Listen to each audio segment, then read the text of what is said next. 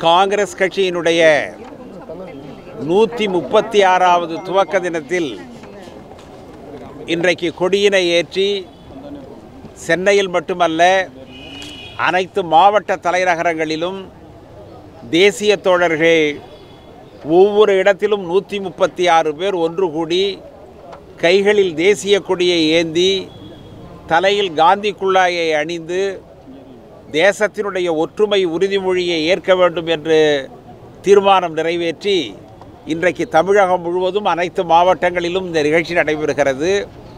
அதனுடைய ஆரம்பமாக சென்னையில் சத்தியமூர்த்தி பவனத்தில் இந்த நிகழ்ச்சியை நாங்கள் ஆரம்பித்திருக்கிறோம். காங்கிரஸ் கட்சி தான் இந்தியாவினுடைய வளர்ச்சிக்கு அடிப்படையான ஒரு அரசியல் கட்சி அரசியல் தத்துவம். ஆசியாவில் ஜனநாயக அடிப்படையில் மிக குறுகிய காலத்தில் வறுமையை விரட்டி வளர்ச்சியை கொண்டு வந்த அரசியல் இயக்கம் காங்கிரஸ். ஆனால் சமீப காலமாக மோடி அரசாங்கம் பொருளாதாரத்தில் படுபாதாளத்தில் விழுந்திருக்கிறார்கள். இந்தியாவினுடைய வளர்ச்சி மிகவும் குறைந்திருக்கிறது. விவசாயிகளுடைய வாழ்க்கை தரம் மிகவும் மோ- மோசமாக போயிருக்கிறது. எல்லா துறைகளிலும் வீழ்ச்சியை அடைந்திருக்கிறோம். காங்கிரஸ் இதை சொல்லவில்லை. இந்தியாவினுடைய ரிசர்வ் வங்கி சொல்லுகிறது. உலக வங்கி சொல்லுகிறது உலகத்தினுடைய பொருளாதார நிபுணர்கள் சொல்லுகிறார்கள். காரணம் என்னவென்றால் பொருளாதாரம் தெரிந்தவர்கள் காங்கிரஸ் கட்சியில் இருந்தார்கள். நரசிம்மராவ் இருந்தார் மன்மோகன் சிங் இருந்தார் தலைவர் சிதம்பரம் இருந்தார். இவர்களெல்லாம் ஒரு சிறந்த பொருளாதாரத்தை கொண்டு வந்தார்கள். ஆனால் இதை போன்ற அறிஞர்களுடைய அறிவை பயன்படுத்தி கொள்ளாமல் இன்றைக்கு மோடி அரசாங்கம் வீழ்ச்சியை நோக்கி சென்று கொண்டிருக்கிறது.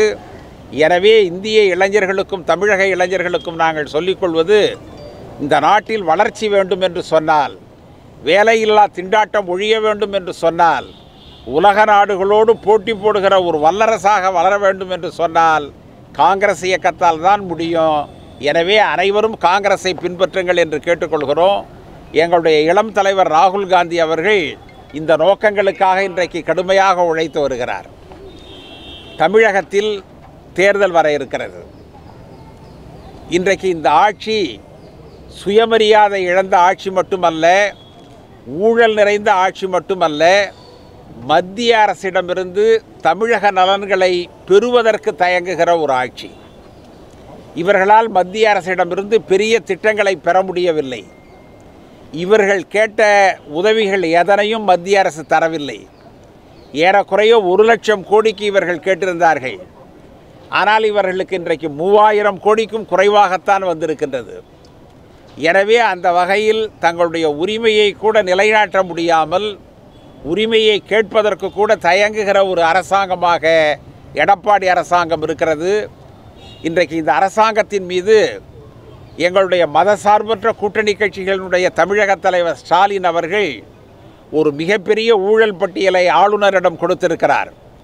அதன் மீது அரசாங்கம் ஆளுநர் நடவடிக்கை எடுக்க வேண்டும் விசாரணை செய்ய வேண்டும். ஏனென்றால் இந்த ஊழல்களுக்கு நாங்கள் ஆதாரத்தை வழங்கி இருக்கிறோம் என்னென்ன தவறுகள் செய்திருக்கிறார்கள் எந்த வகையில் பணம் ஈட்டியிருக்கிறார்கள் என்பதனை மக்களுடைய நலனுக்கு எவ்வாறு புறம்பாக செயல்பட்டிருக்கிறார்கள் என்பதனை மிக தெளிவாக அவற்றில் குறிப்பிட்டிருக்கிறோம். எனவே ஆளுநர் அவர்கள் இதன் மீது ஒரு விசாரணையை துவக்க வேண்டும் என்று கேட்டுக்கொள்கிறேன். பாரதிய ஜனதா தமிழகத்தில் ஒரு அராஜக நிலையை உருவாக்குகிறார்கள். பெரியாருடைய சிலைக்கு வண்ணம் பூசுவது சாயம் பூசுவது காவி சாயம். திருவள்ளுவருக்கு காவி சாயம் பூசுவது பெரியாருக்கு சா சாயம் பூசுவது மகாத்மா காந்திக்கு சாயம் பூசுவது என்கின்ற ஈனத்தனமான செயல்களில் பாரதிய ஜனதா ஈடுபடுகிறது. இதில் என்ன உங்களுக்கு சந்தோஷம் இருக்குது என்றைக்காவது திருவள்ளுவர் மதம் சார்ந்த கருத்துக்களை சொல்லியிருக்கிறாரா? இனம் சார்ந்த கருத்துக்களை சொல்லியிருக்கிறாரா? மொழி சார்ந்த கருத்துக்களை சொல்லியிருக்கிறாரா? இன்னும் சொல்லப்போனால் தமிழக மன்னர்களுடைய பெயரை கூட அவர் குறிப்பிட்டது கிடையாது. உலகத்திலேயே ஒரு மறைநூல் இருக்கிறது என்று சொன்னால் திருக்குறள் மட்டும்தான். திருக்குறள் மட்டும்தான் மதத்தை சொல்லாமல் கடவுளை சொல்லாமல் ஜாதியை சொல்லாமல் இனத்தை சொல்லாமல் மொழியை சொல்லாமல் மக்களை ஒன்று திரட்டுகிற அறநெறியை பரப்பிய ஒரு நூல் என்று சொன்னால் இலக்கியம் என்று சொன்னால் திருக்குறள் தான். நீ அவர் மீது சாயம் பூசுவதில் என்ன இருக்குது என்ன உங்களுடைய கீழ்த்தரமான சிந்தனை? அந்த கட்சியினுடைய தலைவர்கள் இதை கண்டிப்பதில்லையா? தவறு செய்வது யார் வேண்டுமானாலும் செய்யலாம். ஆனால் தலைமை அதனை கண்டிக்கணும் அதற்காக வருத்தம் தெரிவிக்கணும் அதற்காக அறிக்கை விட வேண்டும். ஒரு ஒரு முரண்பட்ட மக்களிடையே ஒரு வேற்றுமையையும் கலவரத்தையும் புகுத்துகிற ஒரு தவறான காரியத்தை அவர்கள் செய்கிறார்கள். அதை மாதிரி தான் வேல் யாத்திரை செஞ்சாங்க. நாங்களும் யாத்திரை செய்கிறோம் ஏற்கலப்பை செய்கிறோம். வளர்ச்சியை குறிப்பதற்காக ஏற்கலப்பையை நாங்கள் காட்டுகிறோம். நீங்கள் வன்முறையை தூண்டுவதற்காக நீங்கள் வந்து வேலை காட்டுகிறீர்கள். எங்களுக்கும் உங்களுக்கும் இருக்கிற வித்தியாசம் அதுதான். எனவே அதையெல்லாம் பாரதிய ஜனதா புரிந்து கொள்ள வேண்டும் பொதுமக்களும் புரிந்து கொள்ள வேண்டும். நான் கேட்குறேன் இன்றைக்கு நாங்களெல்லாம் சேர்ந்து பாரதிய ஜனதா அலுவலகத்தின் மீது ஒரு கருப்பு வர்ணத்தை பூச முடியாதா? நீங்கள் ராத்திரியில் திருட்டுத்தனமாக பூசிட்டு ஓடிடுறீங்க. ஏன் பகல்லையே வந்து நாங்கள் பூசுகிறோம் என்ன செய்வீங்க? அது எதில் கொண்டுகிட்டு போய் விடும்? இந்த நாட்டில் அது அமைதியை ஏற்படுத்துமா? அது நல்லதா அது? ஜனநாயகத்தின் மீது நம்பிக்கையுடையவர்கள் செய்கிறதா அது? வேற்றுமை கருத்துக்கள் இருக்கவே செய்யும். ஜனநாயகத்தினுடைய சிறப்பே வேற்றுமை கருத்துக்களை ஏற்றுக்கொள்வது தான் காங்கிரஸ் கட்சியினுடைய சிறப்பே வேற்றுமை கருத்துக்களை ஏற்றுக்கொள்வது தான் பரிசீலிப்பது தான் எனவே தமிழகத்தில் பாரதிய ஜனதா காவி வண்ணம் பூசுகிற ஒரு தவறான நடவடிக்கை எடுக்கிறார்கள். சமுதாயத்தில் யார் யாரெல்லாம் குற்றம் சாட்டப்பட்டிருக்கிறார்களோ யார் யாரெல்லாம் காவல் நிலையத்தினுடைய கண்காணிப்பில் இருக்கிறார்களோ அவர்களெல்லாம் இன்றைக்கு பாரதிய ஜனதாவில் புதிதாக போய் இணைகிறார்கள். அந்த கட்சியினுடைய மூத்த தலைவர்கள் அதை சொல்லணும் இது தப்பு இது செய்யாதீங்கன்னு சொல்லணும். இதனால் உங்கள் கட்சிக்கு என்ன மரியாதை வந்துட போகுது? எனவே பாரதிய ஜனதா இன்றைக்கு தரம் தாழ்ந்து போய் கொண்டிருக்கிறது. அதனுடைய தலைவர்கள் மௌனமாக இருக்கிறார்கள். புதிய தலைவர்களாக வந்திருக்கிறவர்கள் இந்த தவற்றை செய்கிறார்கள். திருவள்ளுவருக்கும் பெரியாருக்கும் காவி சாயம் பூசினால் அதனால் ஏற்பட போகின்ற விளைவுகளை பாரதிய ஜனதா உணர்ந்து பார்க்க வேண்டும் என்பதனை இந்த நல்ல நாளில் எச்சரிக்கையாக நான் தெரிவித்துக் கொள்ள விரும்புகிறேன். கூட்டணியின் எல்லா தியாகங்களையும் காங்கிரஸ் செய்யணும்னு சொல்லிருந்தீங்க அப்படி தியாகங்கள் செய்ய வேண்டிய ஒரு சூழல் ஏற்பட்டிருக்குதா தியாகம் செய்வது காங்கிரஸ் கட்சியினுடைய மரபு. நீங்கள் வெள்ளையர்களை எதிர்த்து இந்த நாட்டில் சுதந்திர போராட்டம் ஆரம்பித்த பொழுது நாங்கள் மட்டும்தான் களத்தில் இருந்தோம். இன்றைக்கி இருக்கிற ஏராளமான அரசியல் கட்சிகள் அன்றைக்கு களத்துக்கு வரல. ஏன்னா இன்றைக்கு நன்மை அடையக்கூடியது அரசியல். ஆனால் அன்றைக்கு சிறைக்கு செல்லக்கூடியது அரசியல். பெருந்தலைவர் காமராஜர் பதினோரு ஆண்டு காலம் சிறையில் இருந்திருக்கிறார்.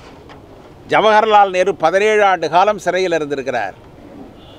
வாவு சிதம்பரம் பிள்ளை தன்னுடைய வாழ்க்கை முழுவதும் சிறையிலே கழித்தார். இளமை பொங்கும் இன்ப காலங்களை எல்லாம் கல்லுடைத்து செக்கிழுத்து பிரம்படிப்பட்டு சாட்டையடிப்பட்டு இப்படித்தான் இந்த தேசத்தினுடைய விடுதலையை நாங்கள் பெற்றுக் கொடுத்துருக்கிறோம். எனவே தியாகம் என்பது எங்களுக்கு புதிதல்ல. ஒரு வெற்றியை ஈட்ட வேண்டும் என்று சொன்னால் தியாகம் செய்ய வேண்டும். அது பெருமைக்குரியது.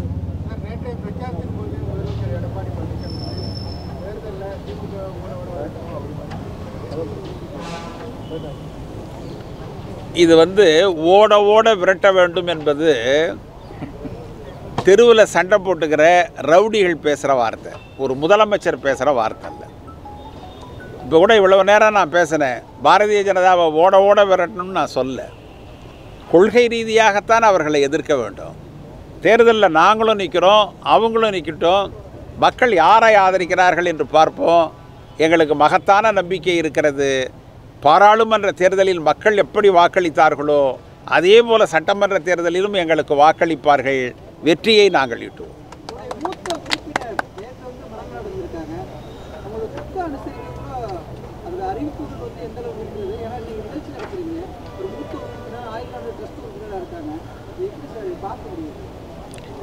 நேற்று அவர்கள் மரணம் அடைந்தார்கள் சத்தியமூர்த்தி பவனுக்கு அவர்களை அழைத்து அந்த உடலை எடுத்து வந்து சத்தியமூர்த்தி பவனில் மரியாதை செலுத்தி அவர்களை நேற்றே அடக்கம் செய்தாகிவிட்டது.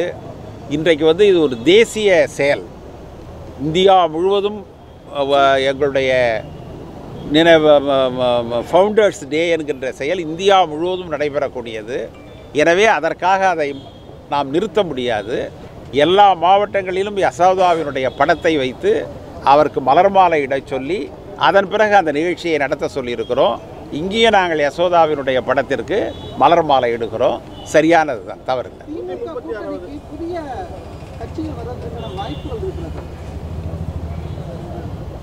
நீங்கள் படுத்திருந்து நல்லா சிந்திச்சுட்டு கற்பனையாக ஒரு கேள்வி கேட்குறீங்க. அதுக்கு என்ன பதில் சொல்கிறது நீங்கள் வந்து எங்களுடைய கூட்டணி முடிவு செய்யப்பட்டு விட்டது. எங்கள் கூட்டணியினுடைய கூட்டங்கள்லாம் நடைபெற்றிருக்கிறது.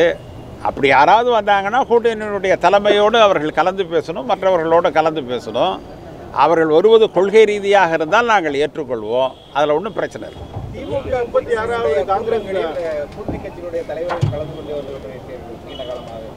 அதிமுகவுடைய முதல் பிரச்சார கூட்டத்திலேயே அவர்கள் அழைப்பு கொடுத்த கூட்டணி கூட கலந்து கொள்ளவில்லை. மற்ற கூட்டணி கட்சிகளுக்கும் அழைப்பு கொடுக்கப்படவில்லை என்றும் இது முதற்கட்ட வெற்றி நினைக்கிறீங்களா? உங்களுக்கு நீங்கள் வந்துங்க எங்களுடைய கூட்டணிக்கும் அவர்களுக்கும் ஒரு வித்தியாசம் இருக்கிறது.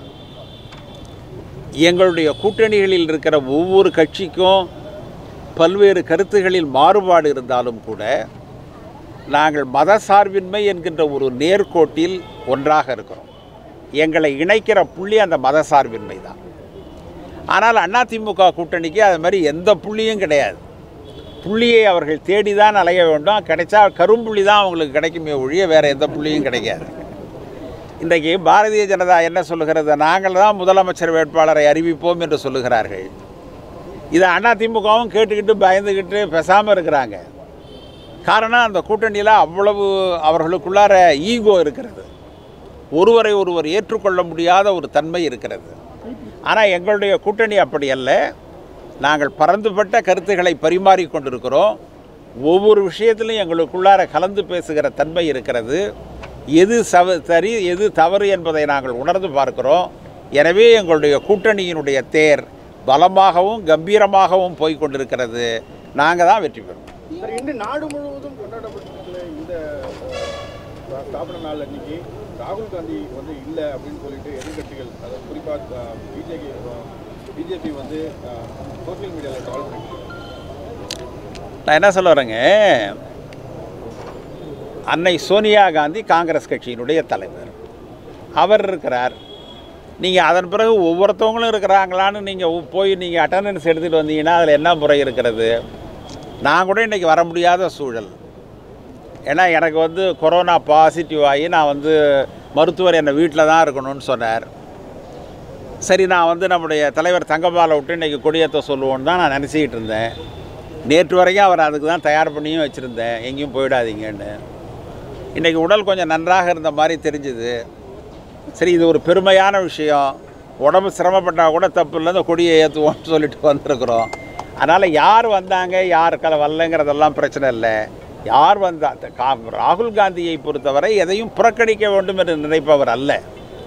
இன்றைக்கு அவரால் வர முடியல. அதுதான் அது இவர்களுக்கு வந்துங்க இவர்களுக்கு கொள்கை பேசியே பழக்கம் கிடையாது. நீங்கள் பாரதிய ஜனதாவினுடைய அருவருக்கத்தக்க அம்சம் என்னவென்றால் கொள்கை பேச மாட்டார்கள். தனி மனித விமர்சனம் தான் அவர்களுடையது. எனவே அவர்கள் அப்படித்தான் பேசுவார்கள் மக்கள் அதை நிராகரிப்பார்கள்.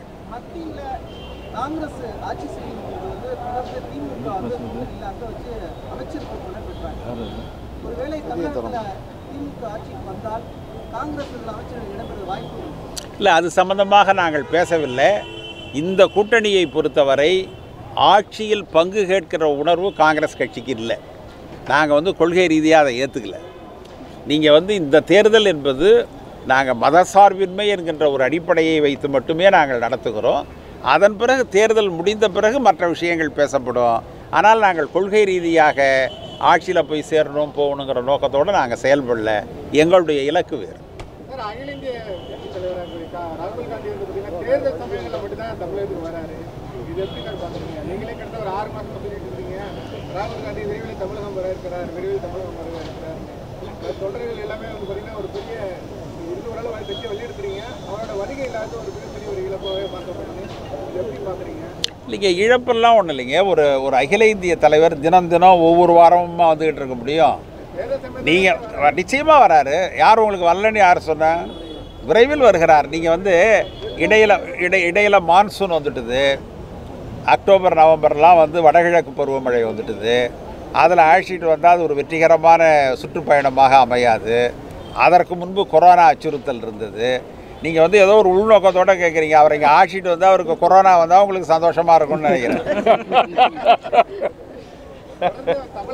இல்லை இல்லை அதெல்லாம் ஒன்றும் இல்லை. அவர் ஏங்க அவர் வந்து பஞ்சாபில் நடந்த ஒரு தேர்தல் பிரச்சார கூட்டத்திலேயே அவர் சொன்னார் நான் வந்து மிகவும் நேசிக்கிற மக்கள் பஞ்சாபியர்களும் தமிழர்களும் சொன்னார்.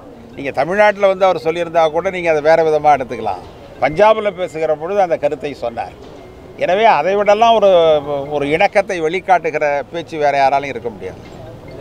அழுத்த மாறுபாடு காரணமாக ரஜினிகாந்திற்கு பல்வேறு அறிவுரைகளை மருத்துவர்கள் கூறியிருக்கிறார் முன்பாக இது போன்ற அறிவுறுத்தல்கள்லாம் வெளிப்படையாக வழங்கப்படவில்லை கூறப்படக்கூடிய ஒரு சூழல்ல உங்களுடைய சார்பாக ஒரு நண்பருங்கிற முறையில் நீங்கள் என்ன அறிவுறுத்தல் நான் வந்துங்க எனக்கு தெரிஞ்சு நீங்கள் வந்து ஒரு இருபது வருஷமாக இந்த கேள்வியை கேட்டுக்கிட்டு இருக்கீங்க.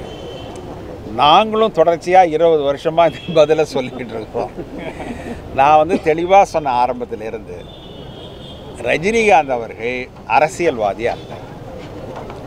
அவர் வந்து ஆன்மீகத்தில் ஈடுபாடு ஒரு ஆன்மீகவாதி அரசியல்வாதியாக வர முடியாது.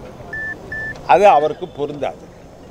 நீங்கள் அவரை ரொம்ப கஷ்டப்படுத்தி அவருக்கு வந்து ரத்த அழுத்தத்தை ஏற்படுத்திட்டீங்க.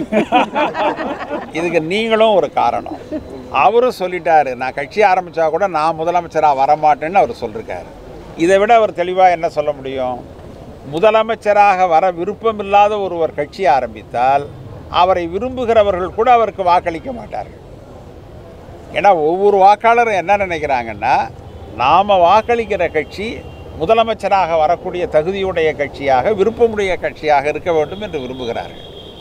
எனவே அப்படி பார்க்குற பொழுது என்னுடைய கருத்து இதை விட அவர் வெளிப்படையாகவே சொல்ல முடியாது.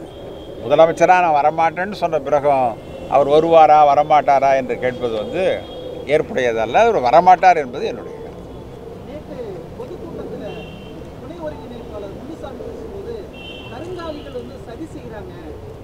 ஏடிஎம்கே உடைக்கிறதுக்கு அப்படின்னு ஒரு வார்த்தைகளை பயன்படுத்துறாரு. இது எப்படி நான் என்ன சொல்கிறேன் முனுசாமி ஒன்றும் இதில் இல்லை முனீச்சில் இல்லை. அவர் இந்த பக்கத்து தெருவில் தான் இருக்கார். போய் முனுசாமிகிட்டே கேளுங்களேன் சந்தேகம் தீர்ந்துட போகுது.